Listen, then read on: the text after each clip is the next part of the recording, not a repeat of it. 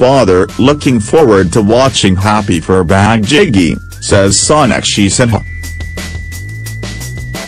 Sonakshi Sinha, who was geared up for the release of her new film Happy Phir Bhag Jayegi, on Monday said that her father and veteran actor Shatrughan Sinha is impressed by its director and looking forward to watch the film.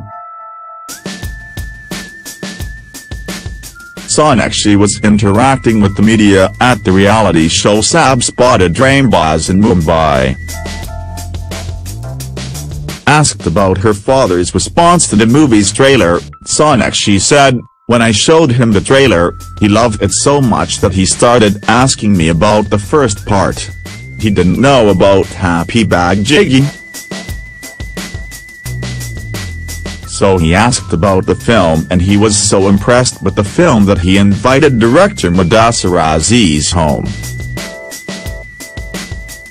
He had coffee with the filmmaker and a really nice discussion. He is very happy with the trailer. The Akira actor also said that the vibe around Happy Phir Bhag Jayegi is so positive that she is not nervous anymore. There is no nervousness. Wherever we have gone, the vibe has been pretty positive. Media and audience response has been really good and positive. Everything about this film has been very positive. That has been instrumental in beating the nervousness.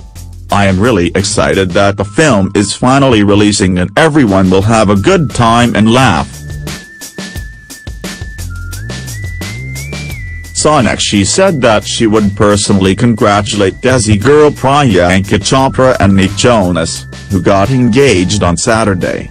Happy Phir Bhag Jayegi produced by Anand L. Rai and Krishika Lulla is a sequel to Happy Bhag Jayegi, 2016.